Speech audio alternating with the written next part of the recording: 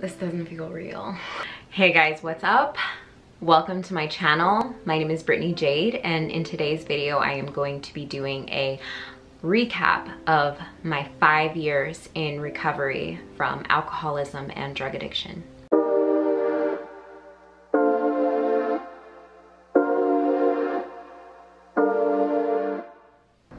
If this is the first video that you have ever seen of mine, if you've just landed on my channel by random chance, welcome and I'm so glad that you're here. My name is Brittany Jade. I am 31 years old. I am a mom of three and I am currently a stay-at-home mom.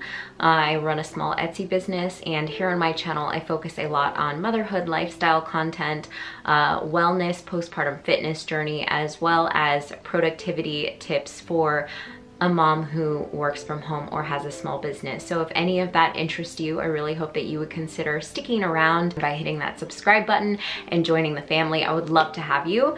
And yeah, let's go ahead and get on into today's video. My recovery date is November 26, 2015, and today is November 25th, 2020. So it's Wednesday. Tomorrow is Thanksgiving Day which I will have five years clean and sober. I am so taken aback and all day today I've been getting really emotional because tomorrow is also my daughter Novalee's fourth birthday. If you have not heard my entire addiction and recovery story, I did make a pretty lengthy video which explains in detail my history, what got me to the point of recovery and a lot of these stories about how I met my husband and details on my children and how they're intertwined with my story.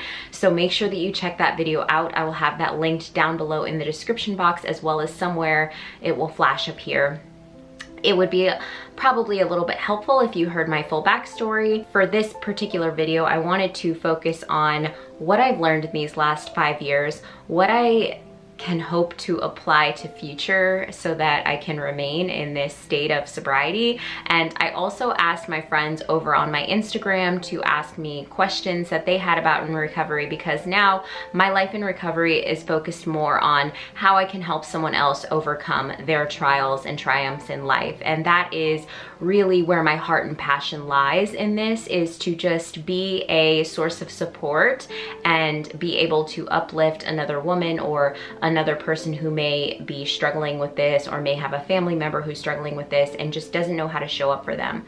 I hope that this space can provide some transparency so that you get a vulnerable, in-depth look at someone who struggled with something so intimate and personal and in reality it can be very deeply shameful. I have had to work incredibly hard through a lot of the past guilt and shame that I had surrounding my addiction and in talking about it fairly openly with people from all walks of life, I have found a sense of freedom in sharing. You know, we do recover, thank God. And I am a living testament of recovery and that the program does work with God and with true grit and working very hard every single day. I had the opportunity to change my life and I wouldn't change that or take that back for anything in this world. You couldn't have told me five years ago today. If you would have told me five years ago today that I would be sitting here making this video, living the life that I live with the family that I have, with the support system that I have, with everything I've been blessed with today, I would have literally laughed in your face because the life I have right now was so far out of reach then, five years ago, I would have never thought any of this would be possible. And it's not for anything else other than recovery, turning my will and my life over to God as I understood Him and fighting every single day for my sober date. That's a little bit about my background. I was a chronic abuser of substances from a very early age. My first drug of choice, as I like to say it, was definitely food. I had developed unhealthy coping mechanisms towards food. And basically, addiction stems from having unhealthy coping mechanisms and reaching for something to fill an empty void. Um, and for me, that void came from childhood traumas, childhood abuse, um, feelings of worthlessness, uh, low self-esteem, being an overweight child, accumulation of all of these things happening to me at a very early age is definitely what played a huge role into my wanting to fill this God-shaped hole that no amount of drugs, alcohol, food, sex, relationships, none of that could fill it. But you better bet your last dollar that I tried all of it to an excess in attempts to make myself feel whole and feel like I was worthy. And I am so grateful that I know now my worth is in God and I know that I am loved and that I am worthy and that I am important and I am special and I am uniquely made and I don't have to sit here and question whether or not I am a good human being today because I put my best foot forth every single day. I make my apologies and make my amends when I need to so that I can get them off of my heart and out of my head and I just try my best to be the best person that I can be. So I did ask my friends over on Instagram to ask me some questions so I would really like to start off with that because that will kind of give me a little bit more of where I should take this conversation. I'm doing this while my son is napping and my daughter's getting just a little bit of screen time so that I can record this really quickly. I'm already seven minutes in so I'm gonna try and make this as brief as possible with giving you as much context and value as possible. First first question is, does that mean you will never drink again or is it something you learn to manage? So uh, for me, my main drug of choice was opiates and you would know that if you know anything about me or if you've watched the video where I talked in depth about my addictions.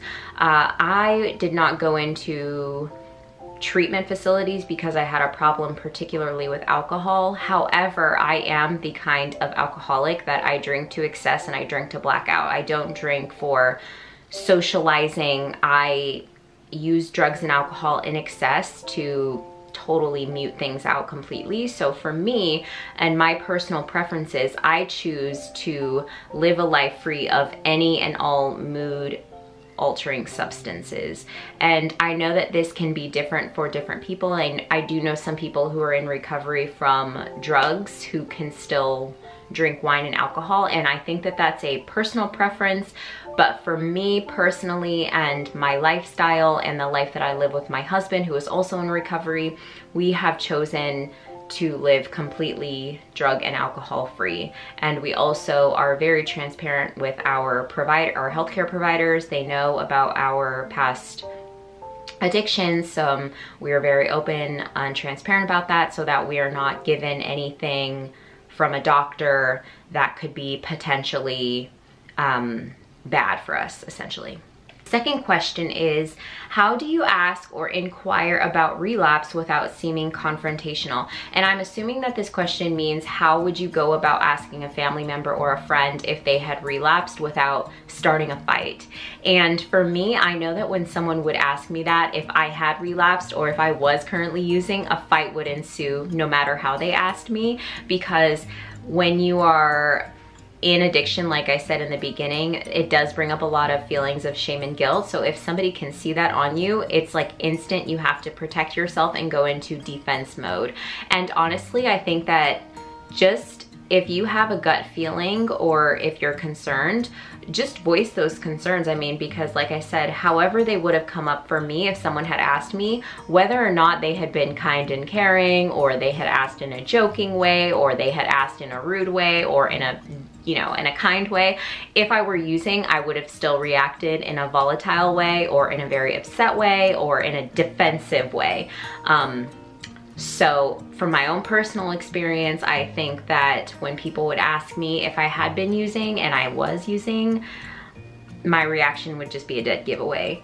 Um, and I know that everyone is different on this, but I don't think that there is a proper way to ask. Like, I don't think there's like a soft and gentle way or like a upfront and personal and kind of just tell me right now, are you using or are you loaded? Like, I don't think that there is a better approach. I think that it all depends on the person that you're dealing with. Um, any past history you have with this person and their addiction. I know that sometimes family members just get fed up with this, you know. Uh, it's and understandably so. It's incredibly difficult and it's something that is so hard for family and friends to watch the addict go through. And it wasn't until I was on the other side of that that I saw all of that pain that I put my family and my friends through, um, people that I had pushed away in my life that really cared about me. I didn't realize how much my addictions and my choices affected them. I thought that my addiction was a very selfish disease and that it only affected me and me alone. But coming out of that and being on the other side and then having friends die and watching friends constantly relapse, I realized that it takes an emotional toll on everyone involved. So I can't even imagine what it would be like to watch like family go through it. And I mean, I do know what it's like to watch family go through this disease, but um, in particular, if you have a thought or feeling that someone might have relapsed and you're wondering how to confront them, my best advice is to just ask. I mean, like, hey, are you loaded right now? Have you relapsed? Just be very upfront and forward and to the point and don't beat around the bush and just ask straight up. I mean, and, and you have the right to do that, especially if you are holding that person accountable or if, you know, you're supporting them in any way, they should want that accountability from people that love them. And it can be annoying when you're newly sober if people are constantly asking you about your recovery, but oh well, so that's what I have to say about that. Do you ever get any cravings even though it's been five years? And for me, no. Actually, I had a very triggering experience happen for me literally last week. I had something very traumatic happen to me where a someone very close to me brought up a situation that brought me back to some childhood trauma that I had experienced. And for me, it brought up so much anxiety in me that I thought for just a moment, I said, it would be so nice to just have a drink to let all of this pain go. And I had to work through that. I had to call my husband. I had to cry and call my mom. I had to um, write in my journal. Um, but up until that point, which is very surprising for me because in the last five years, I have had absolutely no cravings whatsoever. I have never even thought like, oh, hey, wine might be nice. I've been in situations where I've had friends who drink casually and I've had the thought pass like, oh, I wonder if I could be one of those moms that could just like drink wine at play dates or something, but um, never like an actual craving. So that was a very interesting experience for me. I'm glad that I have not had that experience in early recovery and I'm glad that that happened to me with five, five years clean and not like five months or something like that because I feel like that would have been a very different outcome.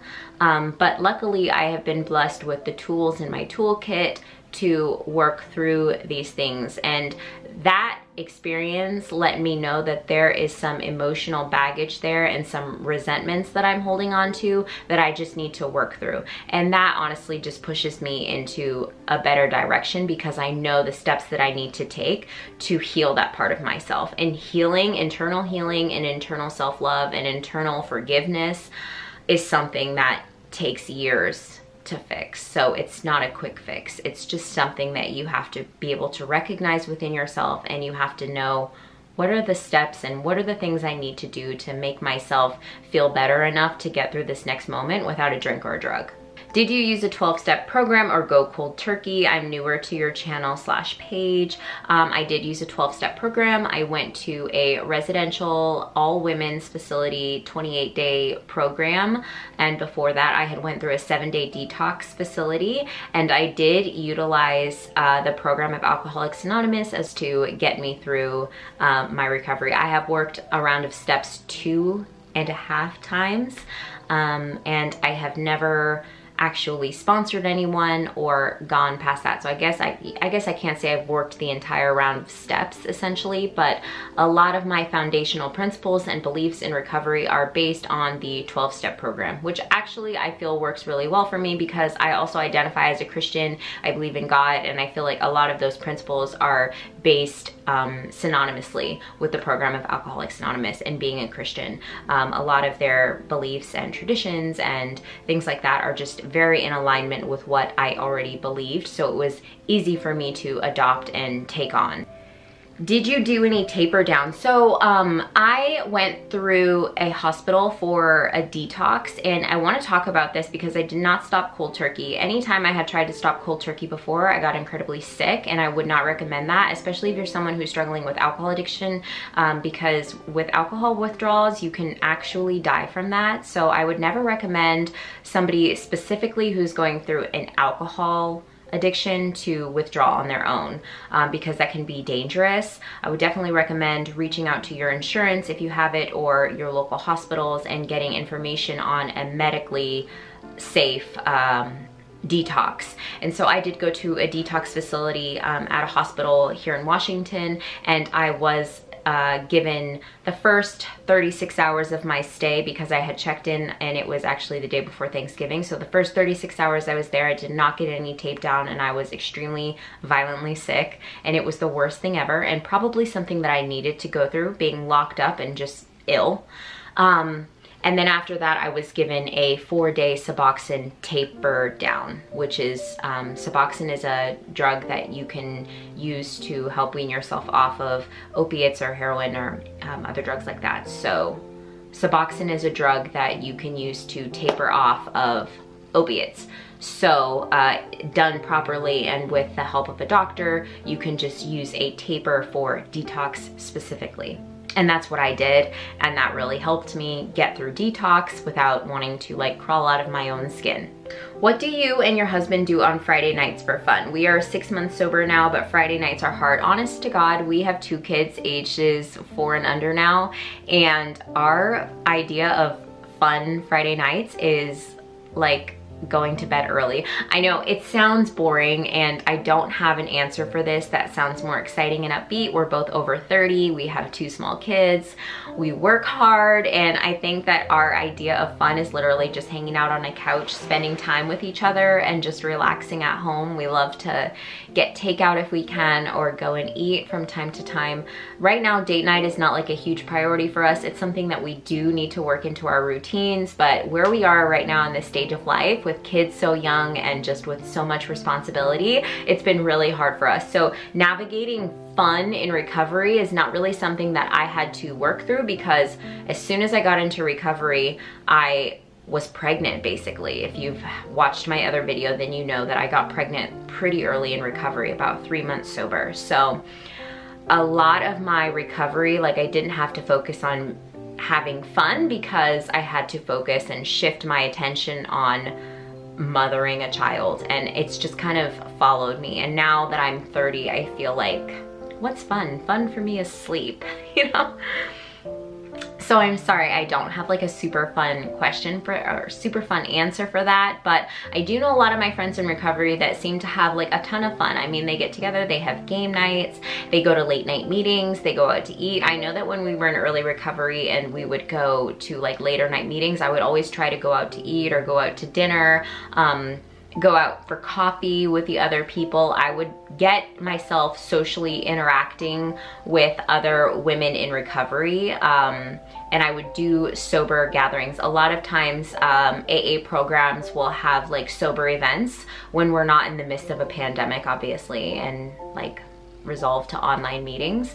Um, but go to a Friday night Zoom AA meeting or something and see what kind of options they have in the present moment. And then when we are back into the real world, there are a ton of fun like sober events that I know they host all the time for young people, young couples, young people who are single, that kind of thing. So there was always stuff like that going on. My family is recovering and refuses to get treatment, thinks church is enough. What are my thoughts? Uh, I don't like to judge people and make assumptions on their ability to get clean and sober without the use of treatment. I, I know for myself personally, treatment was something that I needed because I needed to check out of life. I needed to get away from my people, places, and things that kept me stuck in my addiction. But that's not to say that that's the only way because I do know people who got clean and sober going through different church ministries and um, things like that. I, I, I, know plenty of people actually who have gotten clean and sober that way uh, and their stories are miraculous and you know they really had the hand of God on them and I feel like it's totally possible and unfortunately there's just not a real way of knowing. Um, one of the things with recovery is you kind of have to let the addict figure out what's gonna work for them and it's uh, it's hard because you want to have your hand in it so much, but they have to take a huge chunk of responsibility for their recovery. My battery's dying, so I'm gonna change that really quick. Okay, I'm back. Sorry about that. I clearly didn't plan my battery life long enough. I'm only 21 minutes into recording, so I don't want this to be super long, but I feel like I have to give pretty lengthy answers. These are some really good questions, so I'm really appreciative of those that asked questions. A lot of people asked about advice on how to get family members clean, and that kind of goes into what I just said. A lot of times you have to kind of let the addict be the driving force in their own recovery. I had gone to treatment four times and I had been in countless different programs to help me get sober and those were all a force of hand from either like my family, my parents, um, or whoever I was like dating at the time. Um, and it wasn't until I made the decision to get sober for me. And honest to God, I can't tell you the exact reason why I stayed clean and sober this time. I made a lot of decisions in early recovery in 2015 when I first got clean and sober based simply on the fact that I didn't know if I was going to stay sober. In case with my son, um, my son going to live with his dad that decision was made because I wasn't sure where my life was heading. I was unemployed, I was living in a transitional house, newly sober, and I didn't quite know what was going to happen to me. But some things that really did help change and shift my path and where I was going. I'm sorry if this is so bright. So some of the things that really helped shift my path, I'd say, is I had to change the people, places, and things. So for me, I'm from Tacoma, Washington. Um, I can never go back there to live. Uh, it just is what it is. There's too many negative memories associated with almost every neighborhood and area in the entire city. I know too many people. Um, there's just there's a negative energy there for me that I don't feel comfortable living in. Even now, five years out, I, I think all the time, like if I were to ever move anywhere, I'd probably be out of state because I just can't go back home. Um, I had to change a lot of my friendships for a while. I am still friends with some of the people that I know from back then, um, but it's just in a different way now. And they all are very aware that I am in recovery and that my life is different. And um, yeah, and then some people who who was associated with, you know, I had to completely cut off. So it's very important that you change your environment if you can. I know that that's a lot harder if you're dealing with someone who has like an entire family or like children. And, um, you know, I, I dealt with a lot of majority of my alcoholism and addictions through my teenage years and younger 20s where I didn't have so much keeping me grounded in that location. So it was a lot easier for me to uproot my life essentially and move away, um, which I know not everyone has the option to do. But as far as helping family members get clean and sober, you can only do so much. What I would recommend for you is to look into Al Anon, which is a program that's similar to a 12 step program, but it's for the family and children and spouses of the addict to go and get help, either with like their enabling or just learning how to deal with people in addiction because there is a right and healthy way and there is a wrong and toxic way. And a lot of times as family members of addicts it's like I feel like we we push towards being enabling and very toxic and we just don't go about it the correct way and it's because you love that person so much you want them to get it right so badly that you just end up doing it in a way that's not helpful and not beneficial to them. So I would definitely recommend anyone looking into Al-Anon. I will have links to all of these resources that I'm talking about down below in the description box. I really want that to be a place of value and good resources for you guys. So make sure that you're checking down in the description box for anything that I'm talking about here that might be useful for you. I'll try and have links, websites, phone numbers, hotlines, anything you can think of um, down below in the description box. But as far as helping family, I wish there was I wish there was like the perfect one one fit answer that would help everyone, but unfortunately that's just not the case. And unfortunately, a lot of times the addict will have to be the one to make the decision no matter what a family member says or does. Um, you're talking to someone who lost custody of her child. Um, we do a lot of things that um, when you're clean and sober you regret but when you're fogged by addiction and alcoholism, you just can't see it straightly. You can't see it straight. And I don't know any other way to say it than to say it like that. There's just some things that you wish you could change when you finally do get sober that you couldn't see properly when you were in addiction because addiction takes over every proper thought process in your mind. And that's hard for loved ones and family members to hear um, because that's not the answer that we want. We want the, what can I do to fix it? We want to fix. Um, and unfortunately, this just isn't the kind of situation where there's just like a, oh, here's a method, here's a three-step method on how you can fix this person's life. Unfortunately, that's just not how it works. And it's sad, it is. Um, but the more help that you can get for yourself and the more education you can give yourself on how you can react to your addict, the happier you'll be, the more helpful you'll be, and the the more boundaries you'll have set in place, which will make moving forward look a lot better for you. What was the most important change you had to make to leave your old lifestyle? Um, for me, it was letting go of, of, old people and old ideas. So for me, when I got clean and sober, I deleted all my old social media. Well, I didn't delete it. I still have my, I still have access to my old Facebook, but I don't ever log in. I completely got rid of my old Facebook and Instagram and I started a new. I changed my cell phone number and I got a new phone number and a new phone. Um, those were just some things that I did along with, like I said, I did not go back home when I got out of treatment. I, I went into transitional housing um, so that I didn't have to go home. So I literally changed everything about my old lifestyle. I didn't um, go back to the old city. I had a new phone, so I didn't have access to any of my old contacts in my phone. I actually deleted all of my dealer's contacts while I was in treatment um, with the help of a counselor who walked me through that. Uh, I had to get rid of all my social media because I just had too many people. It was just too hard to go through one by one, so I just got rid of it completely, started a whole new page. Um, I think what was the most important thing? Everything. I had to change everything about who I was and what I believed and what I wanted in order to make this lifestyle successful for me.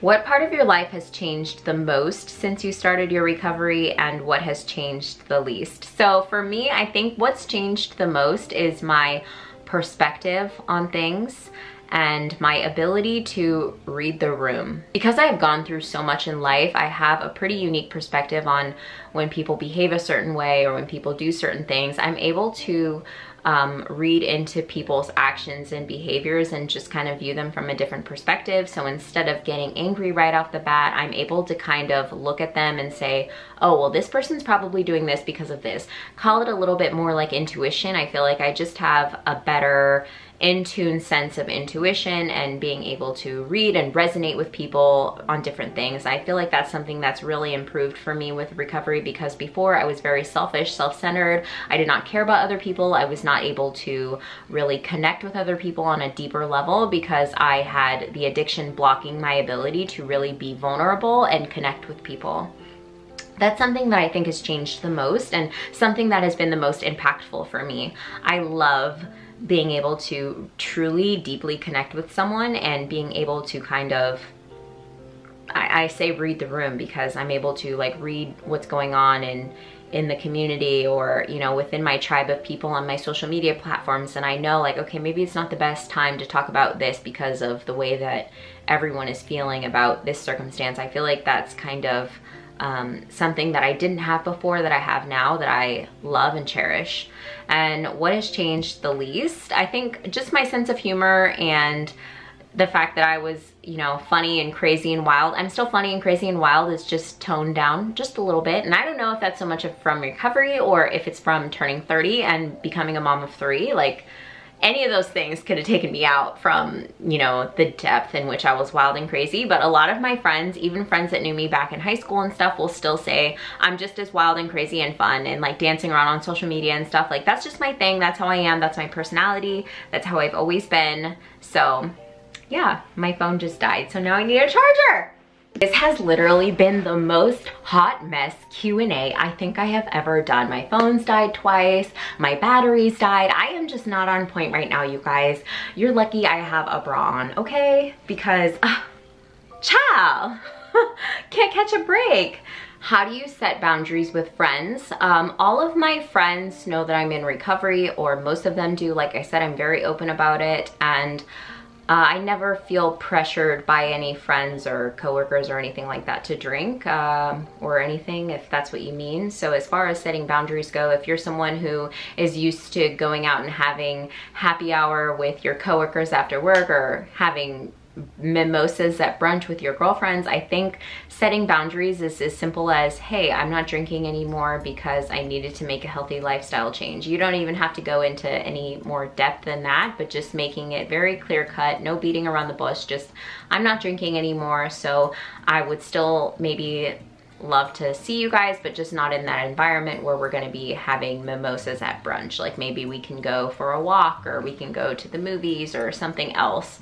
Um, obviously, it's a lot harder right now with the pandemic being able to go out and do anything, but you get my drift. As a spouse of an addict, sometimes I feel like I am the root of the issues.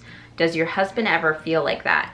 Um, no, because me and my husband are actually both in recovery and that is a huge, um, I think, plus for me is the fact that we're both in recovery. I don't know what it would be like to date someone or be married to someone who is considered a normie or like someone who can like drink alcohol normally. Um, I have no idea what that would be like and I feel like that would be an added element of challenge to me if I had to live with someone who could just drink normally and didn't understand my struggle. But because we have that um, that unity in this one area of life, I feel like it not only makes us stronger, um, but we are able to recognize within, e within each other, like, hey, you should probably like call the therapist and like go make an appointment, or like you should probably like go and call a friend or go and do a reading or sit down and pray. Like my husband asks me all the time, like, have you prayed today? Like, because we know enough about each other and enough about our behaviors and when we're acting out um, that we need to do certain things to get back in alignment with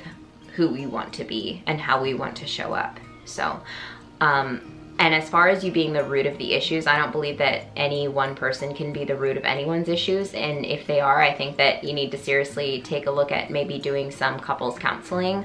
Even for me and Taylor, we do couples counseling and it can be beneficial for so many different relationship issues, maybe even not like issues, but just I think everyone should do couples counseling. It just is what it is. That's just what I believe. I think it's beneficial for everyone, even if you're not having problems. Like, just, just go. Get a couples counselor, okay? Thank me later. How many times did you relapse before you finally got clean? Um, a ton of times. A gang of times. Plenty of times. How many times did I relapse? Five times, 10 times, 20 times.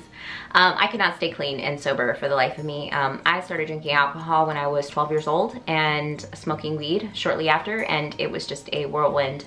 Um, I never had personal times during my teen teenage years where I would say like, oh, I'm gonna try and stop, but I would say like, oh, I'm gonna try and not black out at this party and I wasn't able to do that. And then I would get clean for little stints of time because I would get in trouble or something and I was not able to stay clean and sober. So again, I have an entire video which goes into depth about my personal history and use with alcohol uh, and drugs in my other video. So please make sure that you go and check that out because it gives a lot of detail about my own personal backstory. Um, when it comes to going to a facility, how do you know which one is best for someone?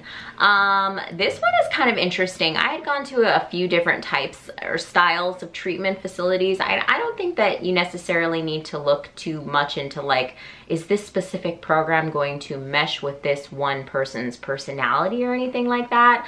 Um, I know for me, I did really well at an all women's facility and that's because I had that added layer of being a woman and really liking relationships with men to fill that God-shaped hole that I was talking about earlier. So going to an all women's facility really helped take away that add that extra um, temptation of being in treatment. Like with men, I, I had to actually focus on myself and on my program as opposed to focusing on some Joe Schmo in treatment because I had done that before. So um, call your insurance company, see what treatment centers are available for your insurance. That's where I always started with like, what can I afford and what's available for insurance purposes? Like, where can I go? Um, but as far as like the mission behind the specific facility and how well their like programs are gonna mesh with like any one person, I never really looked into that too deeply and I had gone to plenty of different treatment facilities. Um, but if you are interested, if you're like a woman and you have history of like trauma or abuse with men, maybe looking at an all women's facility or like a youth only facility or a men's only facility or um, a dual diagnosis facility where you can tackle your addictions and your mental health issues at one time. Those are really popular. Uh, you can look into things like that. But as far as like, am I gonna vibe with the vibes in here? I don't really think that that is as crucial of a detail to be looking at personally. What has helped you the most in your recovery? Um, having my daughter on my sober date is my saving grace. And I know that that seems kind of shallow because we really can't depend on another person to be our source of strength in recovery, but having my daughter on my one year sober birthday was not only the best gift I could have ever been given in recovery, but it was the best gift God could have ever given me to keep my will and determination on staying sober. The fact that we have that interconnected date has really helped me so much navigate this journey of recovery because no matter what, I feel like I can't let go of my date. I will bear tooth and nail clenched fists to keep my recovery because I owe it to my daughter. This little girl came into my life unexpectedly. She saved my life. Sorry, I'm not gonna. I'm emotional because my daughter turns four tomorrow and I have five years and um, she doesn't even know that she saved my life, literally. Um, I don't know if I'd still be sober if I don't, if I didn't have her. I don't know, but yeah, my daughter definitely helped me the most. Word of advice for those who are struggling with recovery. Um, don't give up. Don't quit on a bad day. Keep fighting the good fight. Turn it over. Don't be ashamed to ask for help. Don't give up believing in yourself. You're worth it. Your struggles are worth it. You're worth the fight. You deserve more. There's a life out there more unimaginable than you could ever dream up if you would just give this an honest shot. You don't have to die today. Those are just some things that popped right up to me. Um, as far as words of like wisdom, just don't give up trying, like keep fighting, like you're worth it. You are worth it. You're meant to be here your story is meant to change someone's life. The fact that you're still alive and you're struggling with alcoholism or drug addiction is a testimony within itself because so many of us don't make it out. So many people die every day from this disease. And the numbers are rising with quarantine and with having to be alone with nothing but ourselves and our thoughts and our vices. Alcohol uh, sales have spiked I mean, people, and I can only imagine people in the drug businesses are thriving right now with people having nothing to, to hold on to. Um, so, you know, there's hope out there. There's hope and there's a life for you out there. If you're struggling, just ask for help. Like, do the next best thing. Reach out to me. I'm my inbox is always open to chat with a fellow addict or person seeking recovery. Is your first son with his dad because of your past addiction? Yes and no. This is very much so like a difficult question for me to answer because I feel like had I had the chance to go back in time when we were in the process of making the decision of where my son would go, I would have chosen differently had I had the resources at that time to keep him. But I was in such a a hard place. Um, I was newly sober. Um, my son had been living with my parents and his dad was nowhere around because his dad was not actively in his life. He was not supporting him in any way, shape, or form. He basically was gone from the time he was two months old and was living in Africa and did not know anything about my struggles with addiction because he wasn't around. He was not an active parent. And the way that he pitched it to me at the time was, hey, you know, you're living in like transitional health, you're doing whatever it is you're doing to get well. Like I have a wife, um, my other kids here, a house, you know, I have all of these things and like your parents are old. Um, he should have like a solid place with, with one of his parents. And I completely agreed with that wholeheartedly. And I was like, yeah, you know, because if I can't be there and, you know, you're doing really well, of course, you know, that, that makes sense. Um, had I have known the hell he was gonna put me through after the fact or how hard it was gonna be or how difficult it was gonna be or the fact that I would have this very beautiful life today if I would have just waited like three months to make a decision instead of having my hand forced by him at the time, circumstances would have been different. But yes, my son does live with his dad in um, across across the nation, basically. Um, he lives very far away and I don't get to see him very often because it's very far away. We live on opposite ends of the nation. Um, so yeah, it's, it's a difficult, um, it's a difficult situation and it's a difficult scenario that we were put in and had I have known that things would be the way that they are now I would have made different decisions then but at the time I felt like I was making the best decision I could have been making and I stand by that and uh, you know, it is what it is. We live and we learn and sometimes there are repercussions for decisions that we made and and that is a repercussion of where my life was at at the time. Had I not been in that position where I didn't have anything, I wouldn't have had to make that choice and unfortunately I did so I have to take responsibility for that and when my son is older I hope that we're able to have conversation and be open about anything. And in the meantime, I'm just going to keep on fighting for my visits, keep on fighting for relationship, and keep on fighting the good fight because he deserves to have his mother in his life and he deserves to have his father in his life and he deserves to, you know, he deserves to be happy wherever he chooses to be. So I have to be okay with that and I have to be ready to have the conversation when the time arises. So, anywho, that answers all of my questions that I had. I, I have a few more, but most of them are pretty similar. So I thank you guys so much for tuning into this video. Um, if you have not already, please hit the thumbs up button. Please subscribe and hit the little bell notification so that you don't miss any videos from me.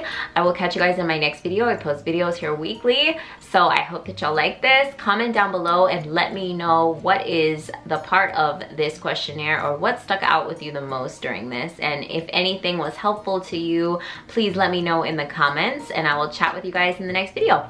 Bye.